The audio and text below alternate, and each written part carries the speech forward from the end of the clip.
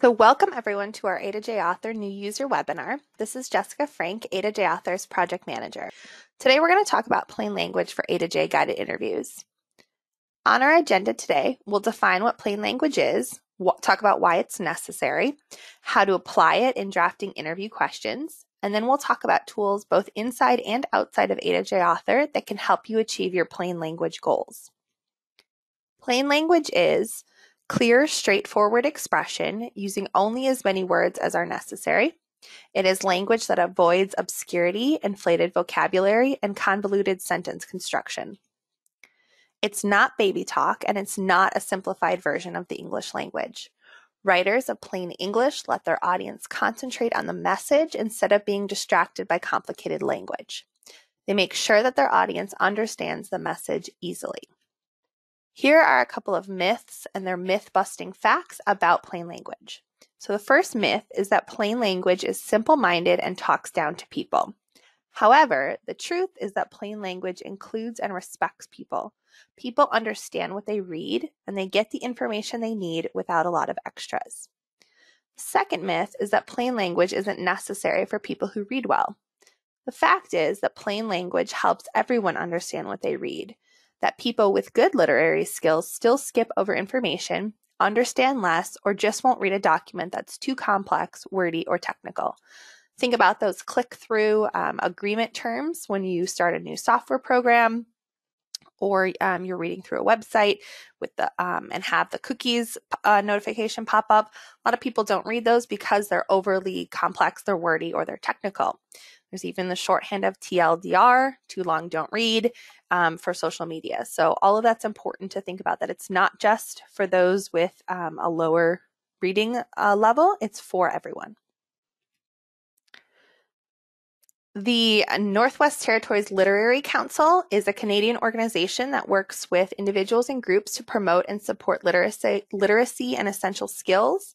And they defined plain language as writing for your readers. So, plain language means you think about your readers and you pay attention to how you organize the information. So, you tell your readers what the document is about, you help them find the information they need. You also pay attention to what you write. You include only the information your readers really need. You pay attention to how you write. You use words and grammar your readers understand, and you speak directly to your reader. And finally, you pay attention to how you present the information. You use design techniques to help people read more easily. In 2002, a study was released by the National Center for Education Statistics. It was a $14 million five year study where they interviewed over 90,000 adults in the United States. This was the most comprehensive study of literacy ever commissioned by the US government. It found that nearly 50% of adults are functionally illiterate. That means they can't balance their checkbooks, they cannot read a drug label, or write an essay for a job. 21 to 23% of the adults were not able to locate information in text. They could not make low level inferences using printed materials, and they were unable to integrate easily identifiable pieces of information.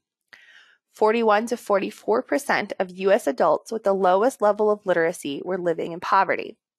There was a smaller follow up study released in 2006 that showed no statistically significant improvement in US adult literacy. So, this is why it's necessary. More than 20% of adults read at or below a fifth grade level, which is generally far below the level you need to earn a living wage. 21 million Americans can't read at all. 45 million of them are marginally illiterate. One in five high school graduates cannot read their diploma, and while there are almost 750,000 words in the English language, about a third of all of our writing is made up of only 25 words. So let's talk about how to apply this information and these skills in your A to J guided interviews. A lot of these tips in the next couple of slides are ones that I've gotten from experienced authors and ones that I've come up with as I've worked on interview drafting. So, first, let's talk about the overall design of questions. First, you want to keep your audience and your goal in mind. Consider the age, education, culture, and language of your users. One of, one of the great things that you can do is create a couple of user personas. So think about who the average person would be using your interview and come up with their backstory. to help include that age, education, culture, and language. So perhaps you're you're automating a form to help someone with um, a child uh, a change to how much child support that they get, child support modification. So um, one of your user personas could be um, Jane. Jane works at a dentist's office as a receptionist. She has access to a computer in her home um, and at work but she's only able to work on the interview during her lunch break and once her two kids go to sleep um, at night. She at work isn't going to have access to all the documents she has at home, but maybe she can finish it up later and um, maybe Jane is has a college or has a high school education, but she never f- completed college. So that's one of your user personas. Then that's um, who you're going to work towards drafting your questions. You're going to include things like the ability to save, um, a list of all the things she's going to need before she sits down, because you know she only has a half an hour during her lunch break to work on this. Then you can create another user persona of um, another common person that might be using this, whether they potentially don't have English as their first language. Um, they only are going to be doing this on their mobile phone. You want to have maybe two or three um, common user personas that um, cover the the range of people who are potentially using your interview, and then you can test your interviews in that mind frame of that person, and so that'll really help make sure that your interview is focused on the audience and the goal of what they're trying to accomplish with the automated document. You always want to include instructions on how to complete the forms. You can group you can group questions, um, and the fun part about automated documents is that they don't the form itself doesn't govern anymore. You are the control here. And so if the form has information about the spouse on page one, five, and seven, you get to group all of the spouse questions in the automated form. You can ask all the questions about their kids in one section, all the questions about property, all their information. The form doesn't dictate. So you can group the questions in a way that gives your user, um, has them just thinking about that one topic at a time without jumping all over the place. But in the template, in the form that gets printed, you can put all of those answers wherever the court has them in the court form. When you're drafting questions, you want to give context to each set of questions, which allows you to transition smoothly from one topic to the next. So, just like a well written legal memo has transitions between paragraphs and sections, you want to apply that same idea to drafting your interviews. So, next, I'm going to talk to you about your kids. We finished talking about your children. Now I'm going to move on and talk about your spouse. We finished talking about your spouse and your children. Now I'm going to talk to you about the legal issue. Each one of those tells them you're starting a new section, so it gives them a frame of mind as you're likely moving on to a new step in your interview. Um, so they're finishing one thought and then they're being told what the next thing to focus on is. And it just allows them to move smoothly in, uh, throughout the interview. When you start, you want to begin with easy and safe questions. The first question on your form shouldn't be, um, you know, why are you late on your child support? um, for a child support modification or what's your social security number? Those kind of questions are off putting. You want to ease your end user in with easy, safe questions. Once they start to trust the process, then you can ask those more difficult questions that need to be answered for the forms. You can use bold, but use it sparingly. So, same with capitalization. So, think about one word or one item that you're emphasizing per question or per page. Don't use bold or capitals to um, quote unquote yell at someone on the internet, but it can be great for emphasizing. You can also balance interesting question formats with consistency. A to J Author allows you 14 different field types in which to ask questions plus buttons um, so it gives you a lot of flexibility in how you want to present your question to your end user and the information. However, you probably shouldn't use all 15 of those options. Um, instead, um, you can have radio buttons, you can have checkboxes, you can have fields, you can have buttons that gather information and move the end user. Um, so balance out the different formats and try them out and how it fits your interview style but sort of keep a consistent look throughout. And you can always add images or videos to the learn more sections because a picture or a video is worth a thousand words. It's always a great way to add more information in a different way for the end user. Some people are more visual and it helps break up a lot of that text. Next, let's talk about the order of the questions. The great part about an automated forms project, like I said, is that the form doesn't control anymore.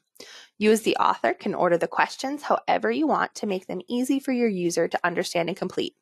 So at the beginning of the interview, you'd like you likely will want to have a checklist of things that the user needs, instructions on how to use the interview. You want to get any of those qualification or eligibility questions off right away. You don't want someone to spend 20 minutes completing a form just to find out they're in the wrong jurisdiction or they make too much money or um, this isn't the correct form for their legal problem, whatever that point in which it would kick them out, make sure you get that out of the way early on so you're not wasting people's time. With uh, the instructions on how to use the interview, sometimes that's good at the beginning to sort of explain the software. So there's pop ups, there's learn more, there's the back button, there's save and exit, however you want to describe how to use A to J author. But there's also instructions about what to do later. So at the end of the interview, if there's something that the end user still needs to do, like this isn't just um, a, an online intake that's going to get submitted when they click, you know, submit my information. Uh, if they're going to need to do something with the physical paper that's generated afterwards um, or the digital copy, um, make sure to tell them that at the end too. So, um, you know, after you complete this form and get your documents, make sure to print three copies, get you know two of them notarized. Keep one copy for yourself. Whatever you need to do that the court processes afterwards you can include those instructions instructions at the end of the interview as well. You can also include them in your template so that they print out as instructions for the end user along with their court documents. But then finally back to the beginning you always want to have a hook explain to the end user why they're putting the effort into doing whatever they're doing. So you're going to spend the next 20 to 30 minutes or three hours or 10 minutes, however long it takes. You're going to spend the next X amount of time uh, answering a series of questions back and forth and learning more about the legal process involved in your X problem. At the end, you're going to have all of the paperwork necessary to do and whatever it is. That simple hook um, explains how much effort they're going to have to put into it, generally, how long it's going to take. It's a rough estimate, and what they're going to get out of it at the end so that the end user knows when they invest this time, they're going to have all of the stuff they need to do X. Moving on to se- uh, sensitive questions, the technique here is to start off with a neutral and get harder. So, just like um, asking questions in an easy and safe way at the beginning, and then getting harder, same idea right off the bat, you don't have to um, start with those hard hardball questions. You can uh, start off with neutral questions, you know, explaining the process, getting them on the hook, telling them what instructions they have, what organization you're from, and then you can build up to those harder questions that are needed on the form. And this is always an opportunity for advocacy. I mentioned social security number, and this might be some some place and some organizations have taken that as an opportunity for advocacy in that courts still require the social security number on the form to be turned in. But when they did their user personas, they thought about how um, this is going to be somebody who's filling it out on a court kiosk or a library computer terminal where they might not know how to clear the cache or their browser history or to clear out that personal information. And social security numbers are um, easy pickings for identity theft. And so they, this organization decided to stop asking for social security numbers in the automated document, but in their instructions at the end and the ones that print out explain to, to the end user to handwrite in that social security number before they submit their documents to the court. So the form still gets completed all the way through, but the organization has decided that they're just not going to automate some parts of that form because of um, their user persona and how they see this form being used. So, those are small opportunities for advocacy. On the individual question level, you want to accommodate all possible answers. Allow for that I don't know or that other be careful about assuming what a user knows. So just because you, as a lawyer or a law student or court personnel, know uh, what county you live in, or you know know offhand what your zip code is based on your address, that's not always something that everyone would have access to or or remember in a stressful situation. Maybe they're doing this at a court kiosk. They've just been told, you know, whatever they were trying to do didn't work and now they have to go work on this other project this other program.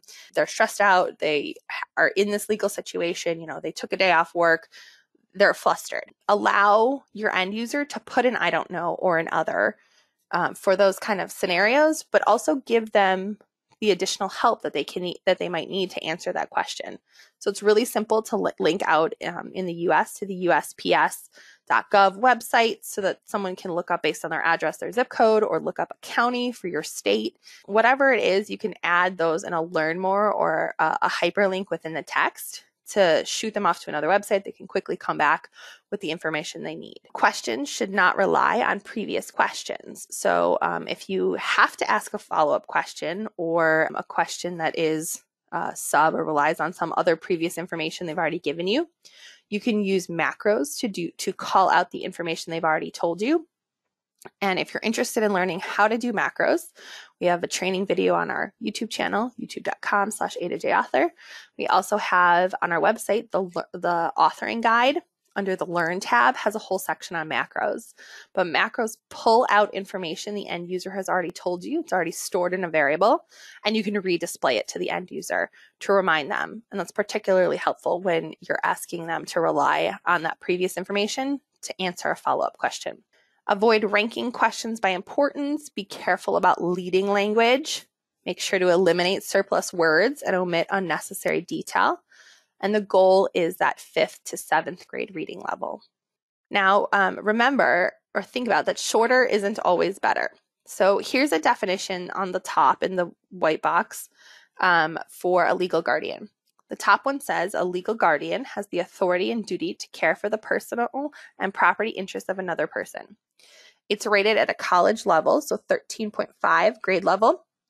Now, if we look at the longer definition in the gray box, a legal guardian acts as a parent for another person. The guardian must care for and make decisions for that person. For example, the guardian must make sure the person is properly fed, clothed, housed, and goes to school. The guardian has the power to make property, medical care, and schooling decisions for that person. The second definition is longer, but it's in that target seventh grade reading level. It includes examples to make the definition more concrete for the end user. A great place to add this additional information, like the bottom example in your A to J guided interviews, is in that Learn More section. So the Learn More section is the pop up that is next to the end user, it's sort of the thought that the end user avatar has and the answer that the guide avatar gives. The Learn More allows you to add this just in time learning feature to your interview questions at the point in which the end user needs it um, so as they're answering the question about what is a legal guardian, you can have a learn more that explains that definition. You could also, if your question said, who do you want to be your child's legal guardian? You can have a pop up which provides the definition if the end user needs it. So, legal guardian would be underlined in blue like a hyperlink. If the end user needed that information, they would click it and up would pop a pop up with a definition like the gray box with examples if you wanted to include those as well. Here's just a quick little exercise to show you how to translate common legalese phrases into plain language. So, like appear in person becomes come to court, dissolution of matrimony is divorce. Each party shall retain records of all expenditures is means keep records of your bills. Not seeking relief, they don't want anything. And an unfavorable decision in your legal matter means you lost. So this is just an easy way to turn what are legal terms into what are more commonly known ways of saying the same thing. So that's important exercise to do potentially in your interviews to translate those legal terms. Sometimes you can't translate it. Sometimes it matters if the person is the petitioner or the respondent. If you can't change those words into something that is more commonly understood, always include a pop up with a definition so that a person can make the correct decision based on additional information about what that means in the legal setting. So, in our last section for today, I'm going to talk about tools that can help you to create interviews in plain language. The first one is uh, tools within A to J Author that are meant to help you. So we've built a grade level evaluator into the age into the A to J Author full reports. The full reports found under the reports tab in your interview include a word count, an average word per sentence count, the Flesch Kincaid grade level evaluator, and the Coleman Liau grade level evaluator. These tools evaluate the text of your interview questions, the Learn More prompts, the Learn More response, and any pop ups that you have as well. Each text chunk is individually evaluated, but also at the very end, you get a grade level for your entire interview you get the system itself gives you visual clues with green, yellow, or red text to alert you to text box that exceed the recommended fifth grade reading level. You get a warning yellow for anything that is between a 6.0 and an 8.9 grade level. Anything 9.0 and over turns it red. And the great part about this is you can print this full report with the grade level evaluators in it. And by print, you can also save it as a PDF. It opens in a separate screen to print when you click print preview. Um, and you can share this with any of your subject matter experts or anyone that might be testing the interview for you outside of the software. So this lets them have that additional information in you as well to review your text. And then if you make changes and you go back to the full report, those will be um, updated as well. The first outside tool to talk about is really not outside A to J author land completely. It's the writeclearly.org's plain language online course. This was created um, about a decade ago by Jeff Hoag, formerly of Lonnie, um, and Transcend, Transcend Translations, and John Mayer, who is the executive director of CALI, which is A to J Authors parent organization. This three part course is written in CALI Author, which is A to J Author's sister software. It's used, uh, Author is generally used by law students to learn legal concepts and do online lessons for law school. But this Write Clearly project walks you through three lessons on plain language tailored for the legal aid and automated document communities. And you can find all three lessons on our website at a2jauthor.org slash plain underscore language underscore course. There are also the federal plain language guidelines from the US government. This document was initially developed under the Clinton administration and then continued through the Obama administration. It includes tips on thinking about your audience, organizing the document or an interview in our case, using the active voice, minimizing abbreviations, and omitting unnecessary words and details. And you can find the full document at uh, plainlanguage.gov slash guidelines. There's also um, additional information about plain language and trainings on that website as well. Finally, there's Transi- Transcend Translations. They're a great company that's worked with many legal aid organizations and courts to improve their plain language. I talked about them partnering with Lonnie and CALI for the plain language course just two slides ago. Um, but their website here, transcend.net, has articles explaining why plain language is important. They've done side by side evaluations of court forms before plain language or after, before and afters of court forms. Um, they have articles talking about the advantages of plain language. So if you have to um, potentially sell this to somebody else about why it's important to spend the time doing plain language, this is a great resource for you. And they also have a plain language lesson on their YouTube channel, which is linked from their website under services um, and then plain language. So, um, if you do have questions throughout the month or anytime you're working on your interviews, feel free to email me, jessica at cali.org. I'm always happy to help um, with specific interviews or with the planning of the interview drafting process. Um, so, feel free to reach out to me at any time. If there aren't any questions, um, thank you all for attending and uh, happy October. See you all in November. Thanks.